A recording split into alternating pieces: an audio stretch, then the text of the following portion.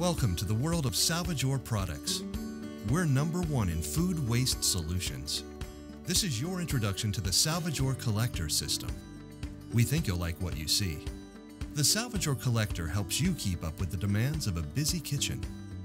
Here are the basic elements of the Salvajor Collector the basin, scrap basket, overflow pipe, and recirculated water. The pump recirculates water. Waste is collected in the basket. To begin the process, make sure the overflow pipe is in place at the bottom of the tank. Then add the scrap basket and basin. It's that simple. Press the start button, and you're ready to tackle even the biggest kitchen cleanup. Here's how the Salvajor collector works. When you press start, a timer will count down as the tank fills. After the fill cycle, the pump will begin recirculating water. As dishes are passed through the water plume, they are scrapped and pre-rinsed at the same time. If necessary, the plume can be adjusted using the valve on the bottom of the collector.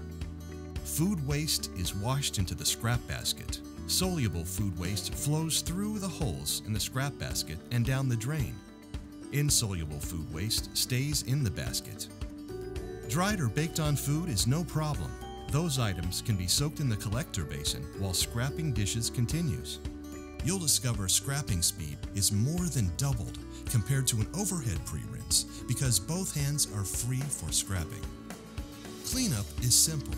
Remove any silverware caught in the basin. Remove the basket and dispose of waste. Remove the overflow pipe to drain the tank. Rinse the basin, basket, and tank.